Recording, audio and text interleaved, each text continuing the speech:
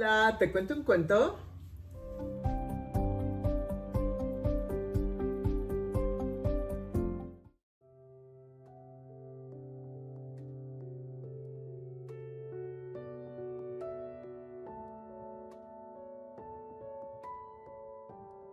Lobo, Mirlo y Sapo eran muy, pero muy buenos amigos. Cuando se encontraron después de un terrible huracán, no sabían qué camino tomar, pero tenían claro que no querían volver a separarse. Vamos a hablarlo, dijo Lobo, mientras tomaba asiento al lado de un grueso tronco. Yo preferiría ir a la montaña porque me gusta el frío y la nieve. Ay, yo preferiría ir al río porque me encanta nadar y bucear entre las hierbas, dijo Sapo. Pues yo preferiría un bosque lleno de árboles porque me encanta cantar escondido entre las hojas y hacer mi nudo entre las ramas, dijo Mirlo. Mm, tendremos que ceder en algo si lo que queremos es permanecer juntos, volvió a hablar Lobo.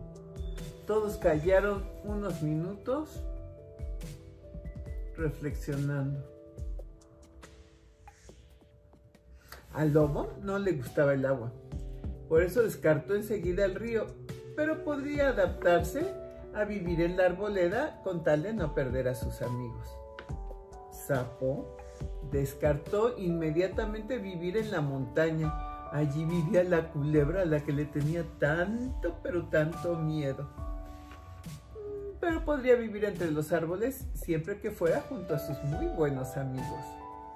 Mirlo pensó que quizá podía adaptarse a vivir en la montaña y aunque el agua no le hacía mucha gracia, podría hacer un esfuerzo por vivir cerca del río y hacerse un nido en un arbusto alto. Los tres hablaban entre ellos para hallar una solución y no tener que separarse. ¡Eh, amigos! Escucharon que les decían. Es a ustedes, les dijo un gran oso pardo. Perdonen si me meto donde no me llaman, pero los estoy escuchando.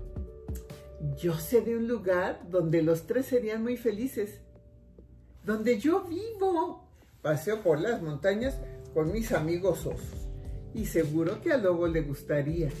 Hay árboles frondosos y altos tan grandes y con unas ramas tan fuertes que Mirlo podría ser su nido. Y además, cerca de mi cueva hay un caudaloso río de aguas transparentes donde apago mi sed y Sapo podría nadar y jugar cuando quisiera. Todos se pusieron muy contentos. Gracias a Oso encontraron un lugar natural precioso para vivir. Ninguno tuvo que renunciar a su modo de vida, aunque estaban dispuestos a ello por mantenerse unidos y además hicieron un nuevo amigo. Seamos muy felices siempre.